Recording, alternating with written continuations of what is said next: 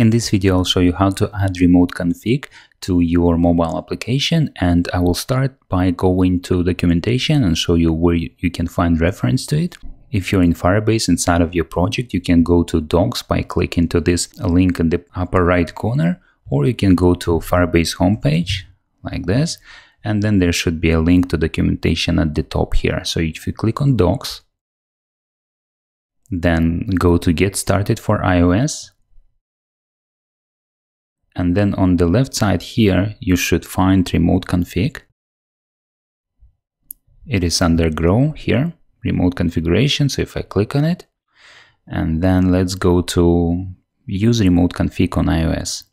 Click here. And here's the first steps that we will need to do to add remote config to our mobile app. We will need to install Firebase SDK. We already have it. And then we will need to add one more pod file. I'll copy it and then install this pod and then uh, open our Xcode workspace and then import Firebase into mobile app, configure, and then get a singleton remote config object as an example here, and then start using it, like for example, set default parameters. So let's uh, perform these steps first. I'll go back to my Xcode project.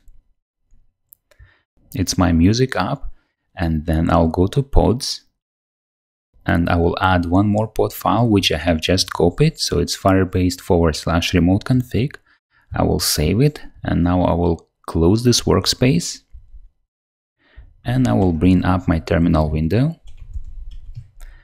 And I will need to navigate to my project folder I'm right now in there so it's music app so if I check its location it, I'm inside of music app project and if I list files I should be able to see Xcode project and Xcode workspace in this folder. So once I'm sure I'm here, I can write pod install to install a newly added pod.